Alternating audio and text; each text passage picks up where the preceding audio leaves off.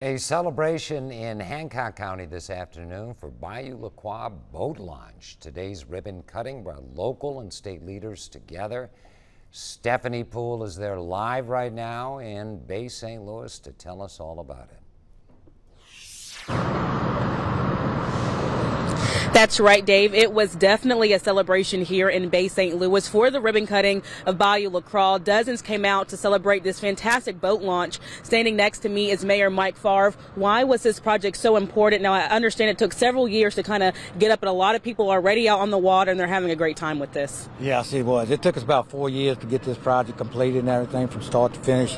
Where it was about a $1.2 million project, you know, and a lot of great donations. We had GOMESA funds. Um, Tidelands, uh, sport fishing that all pitched in made this possible. Something we've been working on and much needed in our area. Right, and this is a fantastic amenity right off the highway at 603.